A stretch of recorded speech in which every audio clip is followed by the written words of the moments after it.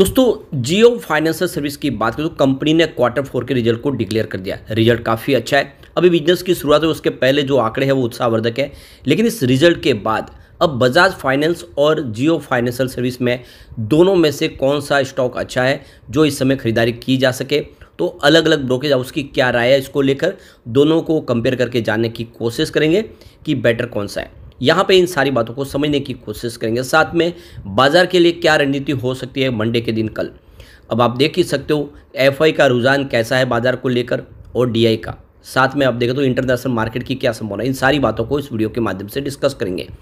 लेकिन फ्रेंड उससे पहले, अगर आप पहली बार हमारे चैनल पे आए तो चैनल को सब्सक्राइब कर दीजिए, एक बेल आइकॉन दबा दीजिए ताकि जब भी नया वीडियो बने, पहला नोटिफिकेशन आपको मिले वीडियो पसंद आए तो लाइक से ज़रूर कीजिए। चलो फ्रेंड्स वीडियो स्टार्ट करते हैं। मैं हूँ आपका दोस्त एस बी दवे और हमारे अपने चैनल ऑनलाइन कमाई में आपका बहुत बहुत स्वागत है। तो सबसे पहले अगर हम निफ्टी फाइनेंशियल सर्विस की बात करें तो फ्राइडे को 21,385 के स्तर पर क्लोजिंग थी। 159 पॉइंट की गिरावट हुई थी यानी पॉइंट सेवन फोर परसेंट गिरा निफ्टी फाइनेंशियल सर्विस। तो बाज़ार में गिरावट का माहौल था काफ़ी ज़्यादा। और ये देख तो इसका जो वजह बन रही है वो है एफ़ आई एफ़ आई ज़बरदस्त बिकवाली शुरू कर चुके हैं बाज़ार में। तो यहाँ पे एफ़ की बात करें तो 26 अप्रैल को, यानी फ्राइडे के दिन thirteen thousand nine hundred nine crore की उन्होंने फ्रेश इन्वेस्टमेंट की है, लेकिन सामने seventeen thousand three hundred eighteen crore की बिकवाली की है। तो उनकी जो बिकवाली का आंकड़ा है वो three thousand four hundred eight crore negative है। और पिछले पाँच ट्रेडिंग सेशन से देखें तो बिकवाली बहुत ज़बरदस्त हो रही है। और ये गिरावट काफ़ी बड़ी है। लगभग ढाई हज़ार, तीन हज़ार करोड़ की बिकवाली हर दिन हो रही है। और आप देखें इस महीने में लगभग उन्होंने thirty six thousand nine hundred thirty six crore का अपना माल बेच दिया है, जो काफ़ी बड़ी मात्रा में और जिससे एक माहौल निगेटिव बना है। फ़िलहाल एफआई बाज़ार में बिकवाल बने हुए बिल्कुल। लेकिन बाज़ार को जो सपोर्ट मिल रहा है, वो डीआई की तरफ़ से। यहाँ पे फ्राइडे को देखें उन्होंने fourteen thousand four hundred seventy five crore का फ्रेश इन्वेस्टमेंट किया। सामने ten thousand one hundred eighteen crore की बिकवाली की।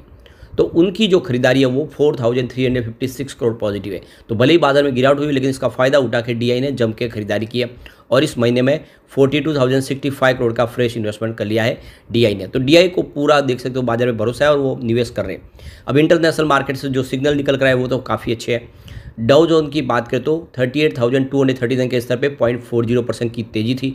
S and P five hundred की बात करें तो फाइव थाउज़ेंड नाइन्टी नाइन के स्तर पे one point zero two percent की शानदार तेज़ी थी और नेक्स्ट डे कॉम्पोजिट में तो ज़बरदस्त तेज़ी देखने को मिली। Fifteen thousand nine hundred twenty seven के स्तर पे two point zero three percent की बम पर तेज़ी देखने को मिली। रिज़ल्ट टू थाउज़ेंड इंडेक्स की भी बात करें तो टू थाउज़ेंड टू के स्तर के आसपास क्लोजिंग थी। One point zero five percent की शानदार तेज़ी। और N Y S E composite की बात करें तो seventeen thousand seven hundred sixty three के स्तर पे पॉइंट वन एट परसेंट की तेज़ी। सभी इंटरनेशनल मार्केट ग्रीन में क्लोजिंग दिया, वो काफ़ी अच्छी तेज़ी के साथ क्लोजिंग दिया, जो सिग्नल है कि मंडे को हमारे बाज़ार में भी शुरुआत अच्छी हो सकती है पॉजिटिव शुरुआत हो सकती है। अब जियो फाइनेंशियल सर्विस की बात करें क्लोजिंग 382 के आसपास रही है, जहाँ पे point zero seven eight percent की गिरावट थी। या यूँ कह सकते हैं कि लगभग फ्लैट क्लोजिंग हुई है, जो गुरुवार की क्लोजिंग थी, उसी के आसपास हुई है।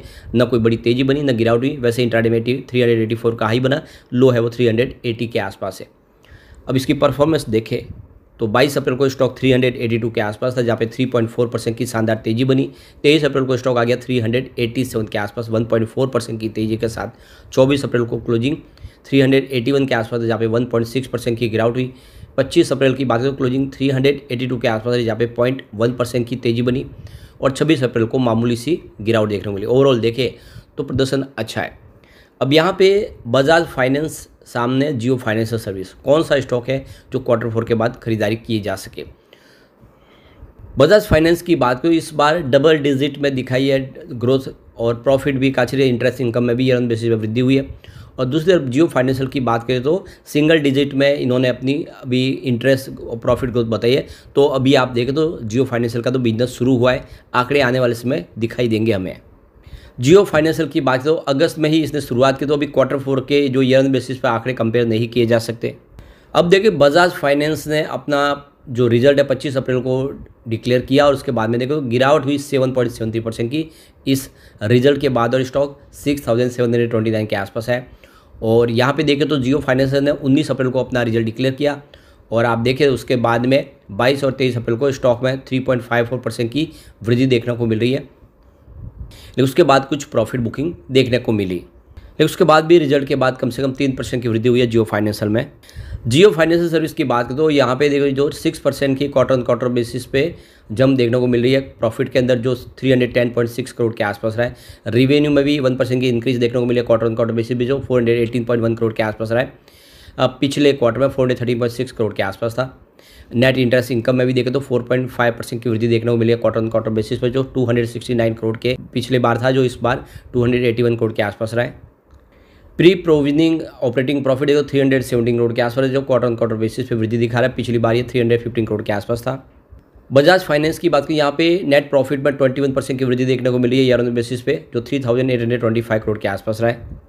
नेट इंटरेस्ट इनकम में ट्वेंटी एट परसेंट की वृद्धि देखने को मिली है, जो एट थाउज़ेंड थर्टीन करोड़ के आसपास है, जो पिछले साल सेम क्वार्टर में six thousand two hundred fifty four crore के आसपास था। नेट इंटरेस्ट मार्जिन देखे तो उसमें ट्वेंटी वन परसेंट की बेसिस पॉइंट की यहाँ पे गिरावट देखने को मिली है। अब जियो फाइनेंशियल सर्विस और बजाज फाइनेंस की बात करें तो इनके कुछ पॉजिटिव पॉइंट भी और कुछ इनकी कमजोरियाँ भी है। जैसे कि जियो फाइनेंशियल की बात करें स्ट्रॉन्ग प्रमोटर बैकिंग है। बजाज फाइनेंस की बात करें तो इसमें इसकी इंप्रेसिव परफॉर्मेंस हिस्ट्री है। जियो फाइनेंशियल सर्विस की बात करें, इनके पास एक एग्रेसिव ग्रोथ प्लान है। रिसेंटली इन्होंने एक एग्रीमेंट साइन किया ब्लैक रॉक के साथ मिलके और दोनों मिलके आप देखें फिफ्टी फिफ्टी परसेंट की जॉइंट वेंचर्स के माध्यम से ब्रोकिंग बिज़नेस में उतर चुके हैं। तो लॉन्ग टर्म के नज़रिए से हिसाब से जो दोनों स्टॉक काफ़ी अच्छे हैं और इनको खरीदारी करनी चाहिए। अब यहाँ पे दोनों के बीच में कंपेयर करके कौन सा खरीदना चाहिए तो आप देखें तो पेस 360 के अमित गोयल का कहना है कि यहाँ पे बजाज फाइनेंस और जियो फाइनेंस को अगर हम कंपेयर करें तो जियो फाइनेंशियल के जो मज़बूत सपोर्ट है, आप देखें तो उसका बैक है वो रिलायंस इंडस्ट्रीज़ जो एक राइजिंग स्टार है। और जिस तरह से तेज़ी से अपने कारोबार में आगे बढ़ने के लिए जो मनसा ज़ाहिर किया, जो इनका बिज़नेस मॉडल है वो इसमें एक बड़ी तेज़ी की संभावना बता रहा है। ग्रोथ की संभावना काफ़ी अच्छी है। तो बजाज और जियो फाइनेंशियल में अगर हमें चूज़ करने के लिए देखें तो हम जियो फाइनेंशियल को ही चूज़ करेंगे। ये बेटर लग रहा है। अब दूसरी तरफ़ आप देखें तो इनक्रेड कैपिटल के जिग्नेश साहिल का कहना है कि अभी जियो फाइनेंशियल ने अपने बिज़नेस की धीरे धीरे शुरुआत की है। अभी उसकी परफॉर्मेंस को हमें जज करना है, देखना है। तो अभी फ़िलहाल इसके बारे में कुछ भी कहना अर्ली हो जाएगा। अभी हम इसके बारे में ज़्यादा कोई प्रिडिक्ट नहीं कर पाएँगे। तो यहाँ पे देखो कि साहिल का कहना है कि जियो फाइनेंशियल का जो स्ट्रॉन्ग ब्रांड नेम है और प्रमोटर बैकिंग मज़बूत है, आने वाले इसमें संभावना पॉजिटिव हो सकती है। बजाज फाइनेंस की बात करें तो यह एक तरह से देखें तो काफ़ी अच्छी ग्रोथ संभावना तो है। मैनेजमेंट का ट्रैक रिकॉर्ड काफ़ी अच्छा है और आने वाले समय संभावना भी पॉजिटिव है। तो हम यहाँ पे बजाज फाइनेंस में ऐड की टारगेट दे रहे हैं नाइन थाउज़ेंड के टारगेट के साथ में खरीदारी कर सकते हैं। मेहता इक्विटीज़ की तरफ़ से रियांक अरोड़ा का भी कहना है कि जियो फाइनेंशियल सर्विस को लॉन्ग टर्म के लिए होल्ड किया जा सकता है। और ये देखिए आने वाले समय अच्छा रिटर्न दे सकता है अगर आप लॉन्ग टर्म के लिए इसको होल्ड करें। बाइंग अपॉर्चुनिटी अच्छी अगर 300 से 310 के आसपास मिले तो। दूसरी तरफ़ अरोड़ा का कहना है कि बजाज फाइनेंस में भी आप देखें तो चार्ट पैटर्न स्ट्रक्चर मज़बूत दिखाई दे रहा है। और ये छः हज़ार से छः हज़ार दो सौ के आसपास अगर आप इसमें खरीदारी करें। करंट लेवल पे देखें तो अरोड़ा का कहना है कि यहाँ पे आठ से दस प्रतिशत की गिरावट के बाद डाउन साइड में दोनों स्टॉक खरीदे की जा सकती है। आने वाले समय अच्छे रिटर्न देखने को मिल सकते हैं। बजाज फाइनेंस का टेन थाउज़ेंड का टारगेट दिया है। तो कुल मिला के अपने अपने हिसाब से दोनों अच्छे निवेश किया जा सकता है लॉन्ग टर्म का नज़रिया लेके।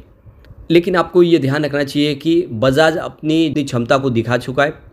अभी जियो के पास मौका है। अब यहाँ पे गौर करने वाली बात है कि जो रिस्क ले सकता है, उसके लिए जियो फाइनेंसर्स में निवेश का मौका अच्छा बन रहा है। इसके पीछे वजह कि बजाज फाइनेंस अपनी जो भी पोटेंशियल दिखा चुका है, उसकी सारी की सारी रणनीति पता है, लेकिन जियो फाइनेंशियल की अब ये शुरुआत है। ये एक राइजिंग स्टार जो आने वाले समय कुछ बड़ा भी कर सकता है। ऐसे में इन्वेस्टमेंट के ऊपर रिटर्न अच्छा मिल सकता है लॉन्ग टर्म के लिए। यानी आने वाले समय ये पाँच और हज़ार के टारगेट भी आराम से दिखा सकता है।